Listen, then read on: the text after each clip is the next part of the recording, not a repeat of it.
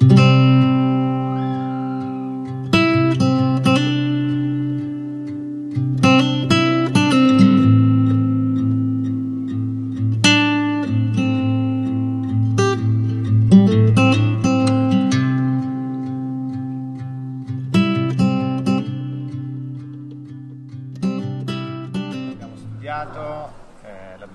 L'abbiamo anche amato, è forse il mito più famoso di Platone, di tutta la storia della filosofia. Settimo libro della Repubblica, che è l'opera più famosa di Platone, e abbiamo imparato che Platone parla di gnoseologia, cioè di conoscenza, dei vari gradi della conoscenza dell'uomo. Noi però abbiamo un po' giocato con questo mito, abbiamo dato altre interpretazioni, però prima eh, vediamo qual è l'interpretazione platonica, quella classica. Chi è che vuole parlare di conoscenza, dei gradi di conoscenza? Qual è il primo grado di conoscenza dell'uomo che sta dentro la caverna? Allora, il primo grado di conoscenza è l'eicasia che eh, va tradotta con immaginazione ed è, ehm, ha a che fare con la radice eic di somiglianza, apparenza, però diciamo che va depurato da tutti i significati che le attribuiamo noi. Bene, e poi c'è un grado un pochino più elevato, siamo sempre nel regno della doxa. Chi è che vuole parlare del secondo grado di conoscenza, della pistis? Ehm, la, la pistis è una conoscenza appunto che fa parte della doxa, l'opinione, ed è una conoscenza influenzata e manipolata da qualcun altro. Nel mito della caverna ehm, i prigionieri che credono che le ombre proiettate sul muro siano oggetti reali appunto sono dotati di pistis. Sì, qui siamo ancora dentro la caverna, quindi un tipo di conoscenza. Ehm, usciamo dalla caverna, quindi entriamo nel livello, a livello della episteme. Chi è che vuole parlare di questo livello di conoscenza? La dianoia nel pensiero di, di Platone è la conoscenza, è la conoscenza razionale ehm, in cui date determinate, date determinate eh, premesse ne trae delle necessarie conclusioni. Quindi è la conoscenza matematico, procedurale, ma c'è un- una conoscenza di livello ancora più elevato. Sì, la noesis è il grado più alto della conoscenza platonica. Dopo essersi liberato dalle catene, il prigioniero esce dalla caverna e riesce a concepire il mondo vero, il mondo reale, il mondo delle idee, la cosiddetta intellezione, il grado più alto della conoscenza platonica. Bene, grazie ragazzi.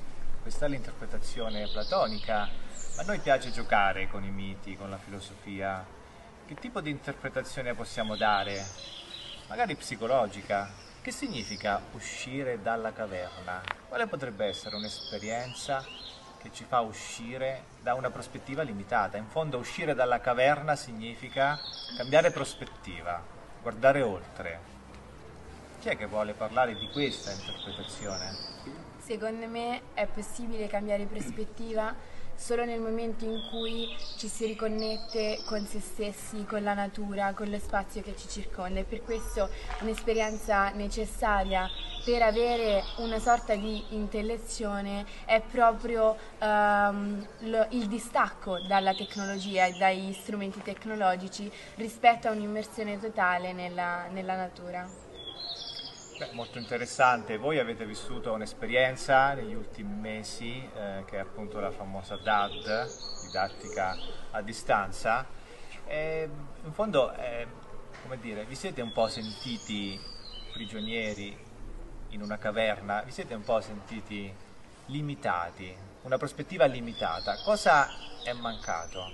Beh, sicuramente la DAD è stato per tutti noi un periodo difficile perché siamo stati privati del confronto con i nostri compagni, con gli insegnanti e penso anche che in questo periodo per noi uscire dalla caverna sia stato un metterci in sfida, metterci in gioco con noi stessi per appunto riuscire a, a superare quella che comunque era una barriera, quindi l'assenza del, del contatto e di quella che era la normalità.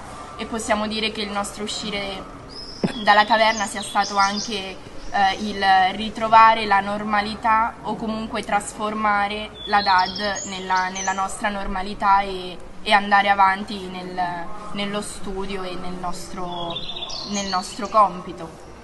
Riprendendo il discorso di Cecilia, credo che proprio questo laboratorio, in questo momento, dopo tanti mesi a casa, sia proprio l'occasione per uscire dalla caverna comunque ci troviamo in mezzo alla natura e vedremo che proprio la natura sarà la chiave di svolta del, del mito platonico e quindi è importante appunto in questo momento cercare anche di, di divertirci, di confrontarci e passare del tempo insieme anche senza mascherine, seppur distanziati, che è una cosa che ci manca da tanto.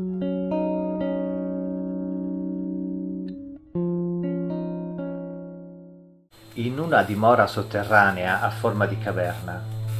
Pensa di vedere degli uomini che vi stiano dentro fin da fanciulli, con le gambe e il collo incatenati, in modo da dover restare fermi e da poter guardare solo in avanti, incapaci a causa della catena di girare il capo.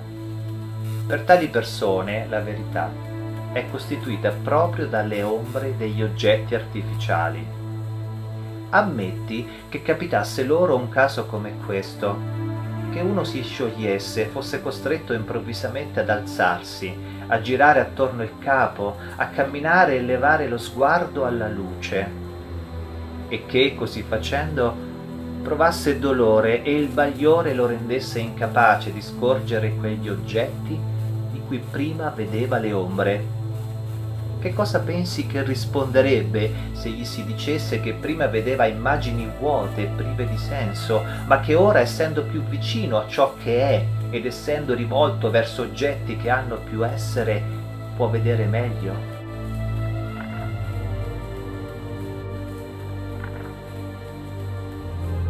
E giunto alla luce, poiché i suoi occhi sono abbagliati, non potrebbe vedere nemmeno una delle cose che ora sono considerate vere.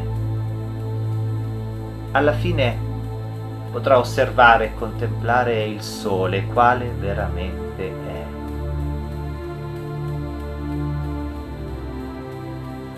Se il nostro uomo ridiscendesse e si rimettesse a sedere sul medesimo sedile, non avrebbe gli occhi pieni di tenebra venendo all'improvviso dal sole? E non si direbbe di lui che della sua salita è tornato con gli occhi rovinati e che non vale neppure la pena di tentar di salire?